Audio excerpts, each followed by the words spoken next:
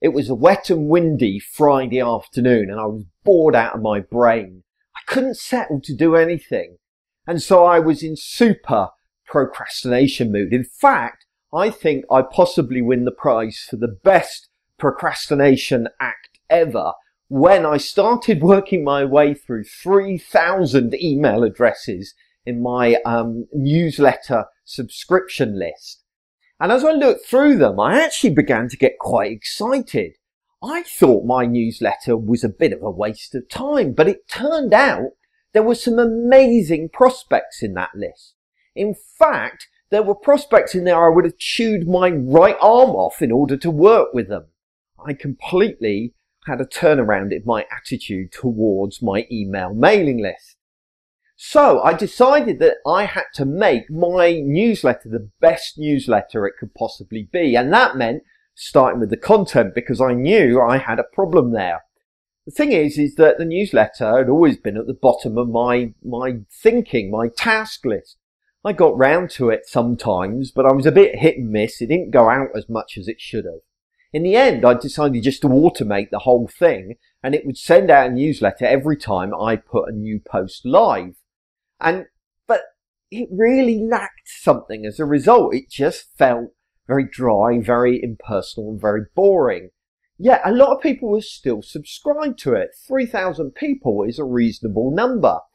And uh, they could have unsubscribed, so they had to be getting some value out of it.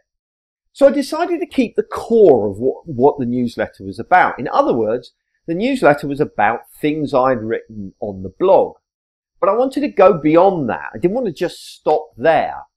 I wanted to make this a real personal experience. I wanted to actively engage with my readers. So I wanted them to feel like I was writing just to them and nobody else because I knew that sales is about personal relationships. Somebody is much more likely to buy from you if they feel they know you, if they have a relationship with you. So that's what I started to do.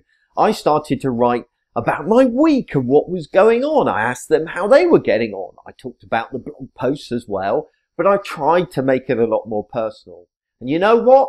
People started to reply to me. I started to get a two-way conversation going with people. And I would reply to everybody who took the time to email me, even if I didn't perceive that person as somebody I would want to work with. Because you never know. Not only is it rude not to reply to someone, also that person one day might become a prospect. And so it was worth me giving them the attention that they deserved. But once I got a great email newsletter in place where the content was good and that was all going well, I needed more subscribers. I needed to grow that list. And that began with the calls to action on the Boagworld website. And I have to confess, the calls to action on the Boagworld site were a little bit half-hearted. They kind of represented my attitude towards the mailing list. So yes, there were subscribe buttons. And yes, they were made to stand out, but there was no compelling reason for users to sign up. It just said subscribe. So I wanted to start playing with the possibilities.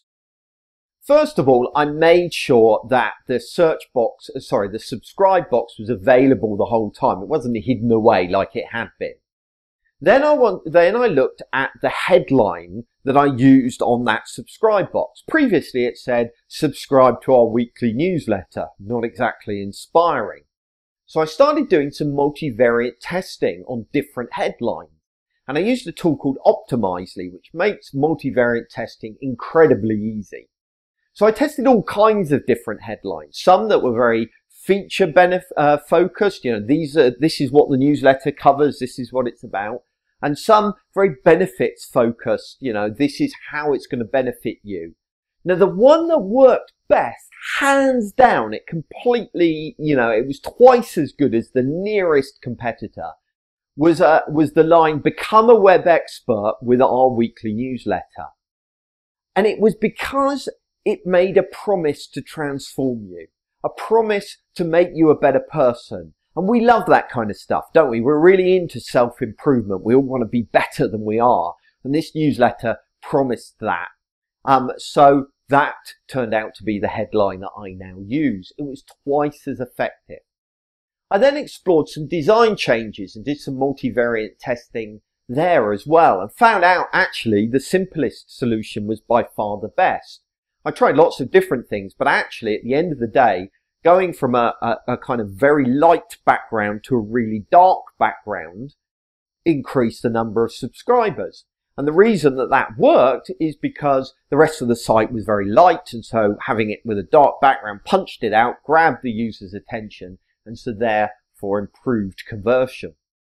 So I ended up in a situation where I'd managed to increase the number of subscribers um, who signed up each month by 100%. So I was getting twice as many subscribers per month that I was previously. So now I began to turn my attention to engagement.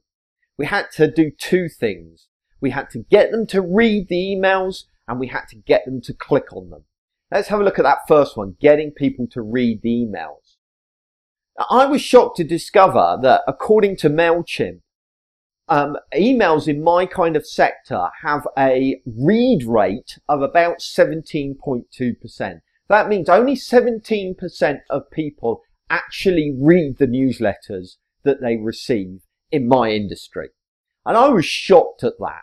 That seemed really low to me. So I wanted to beat that. In fact, I already was beating it, but I wanted to push even further. So again, I started some experimentation and I tested different headlines at different times. And I found two things worked really well for me. One is I mentioned the recipient's name in the subject line. That really helped to grab people's attention and get them to open the email. The second thing was to introduce a sense of urgency.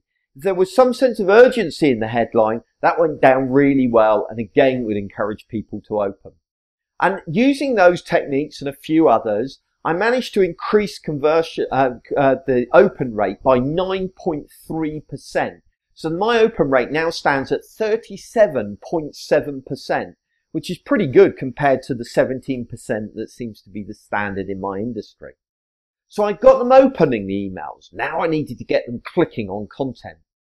And this is where I was really shocked Apparently the industry average here is 3.8% click-through rate. Whoa, that seems really low. And in my opinion, what's the point of doing a newsletter and putting all that effort in if you're only getting 3.8% click-through rate? Now, in my case, I had a very particular problem that I discovered. Each of my news stories that I cover in the newsletter had an associated image. And lying over the top of that image is the title of the story. And the idea was is people see the image, the image grabs their attention, they read the headline, then click through on the image to the article. And I was getting better than 3 point whatever percent, but I still wasn't getting a particularly high rate.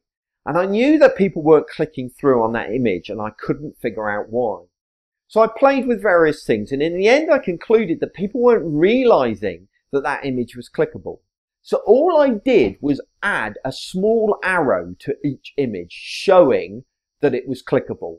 And you know, just doing that caused a 3.4% increase in the number of people clicking.